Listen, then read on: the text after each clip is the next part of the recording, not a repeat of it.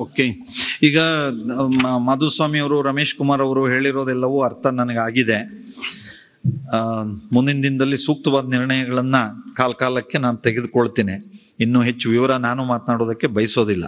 ಈಗ U T Khader ಅವರು ಒಂದ್ ಎರಡು ನಿಮಿಷದಲ್ಲಿ ಸಭಾಧ್ಯಕ್ಷರೇ, ಈಗ ಎರಡು ಮೂರು ನಿಮಿಷದಲ್ಲಿ ತಾವು ಹೇಳಿದಾಗೆ ನನ್ನ ಆ ಪ್ರಸ್ತಾವ ಬಹುಶಃ ನಾನು ಇವತ್ತು ಮುಗಿಸ್ತೇನೆ. ಅದಕ್ಕಿಂತ ಮುಂಚೆ ಎರಡೇ ಮಾತು.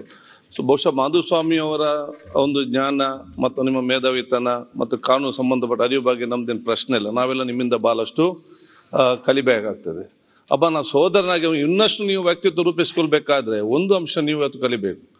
ಯಾವುದಂತ ಹೇಳಿದರೆ, ನಾವು ಬಹುಶಃ ಯಡಿಯೂರಪ್ಪಜಿಯವರಿಗೆ ನಾವೆಲ್ಲರೂ ಕೂಡ ಗೌರವ ಕೊಡ್ತೇವೆ. ಪಕ್ಷ ಯಾವುದು ಎದುರು ಕೂಡ ನಮಗೆ ವಿಶೇಷವಾದ ಗೌರವ ಮತ್ತು ಎಲ್ಲ ರಾಜಕಾರಣಿಗಳು ಅವರಿಂದ ಏನು ಕಲಿಬೇಕು, ಯಡಿಯೂರಪ್ಪರಿಂದ ಏನು ಕಲಿಬೇಕಂತ ಹೇಳಿದರೆ, ಅವರ ತಾಳ್ಮೆ ಮತ್ತು ಕಮಿಟ್ಮೆಂಟ್ ಕಾರಣ ಸ- ಯಡಿಯೂರಪ್ಪ ಜೊತೆ ಸ್ವಲ್ಪ ತಾಳ್ಮೆ ಮಾಧುಸ್ವಾಮಿ ಅವರಿಗೆ ಇವತ್ತೇನಾದ್ರು ಮೈಗೂಡಿಸಿಕೊಂಡು ಬಂದ್ರೆ ಇನ್ನಷ್ಟು ತಮ್ಮ ಏನಿದೆ ನಮಗೆ ಇನ್ನಷ್ಟು ಎಲ್ಲರಿಗೂ ಒಂದು ಮಾದರಿ ಆಗುವಂತ ಖಂಡಿತವಾಗಿ ಆಗ್ತದೆ ಅಂತ ಹೇಳಿಕ್ಕೆ ನಾನು ಇವತ್ತು ಅವ್ರಿಗೆ ಸಭೆ ಮತ್ತೆ ನೀವು ಮಾತಾಡ್ತೀರಿ. ಯಾಕೆ? ನನಗೆ ಆ ಖಾತೆ ಕೊಟ್ರೆ ನಾನು ಮಾತಾಡಲ್ಲ ಅಲ್ಲಿ ಕೂತಿದ್ದೆ ಮಾತಾಡಿಲ್ಲ ನಾನು.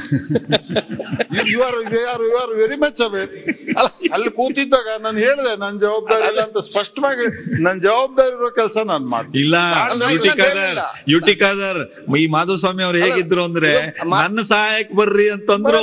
ಏ ನಾ ಬರಂಗಿಲ್ಲ ಅಂತಂದ್ರು. ನಾ ಲಾ ಮಿನಿಸ್ಟರ್ ಅಲ್ಲ ರೀ. ವ್ಯಕ್ತಿತ್ವ ಬರೀ ಮಾಧುಸ್ವಾಮಿ ಅವ್ರು ಮಾತ್ರ. ಎಲ್ಲಾ ರಾಜಕಾರಣಿಗಳು ಕೂಡ ಕಲಿಬೇಕಾಗ್ತದೆ. ಒಂದು. ಈಗ ನ್ಯೂಸ್ ಫಸ್ಟ್ ಪ್ರತಿಕ್ಷಣ